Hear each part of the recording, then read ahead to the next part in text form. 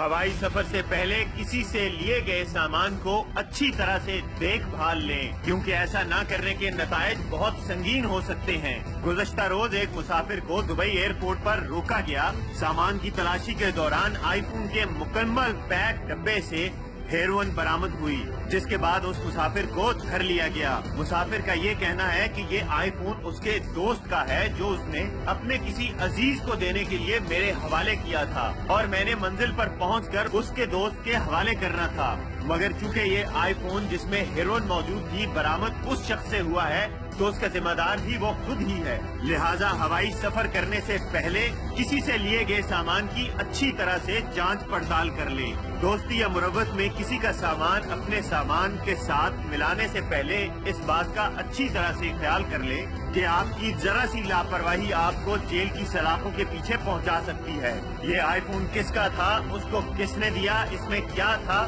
یہ سب بعد کی باتیں ہیں۔ مگر اب یہ مسافر جیل میں ہے اور اس کو سزائے موت سنا دی گئی ہے۔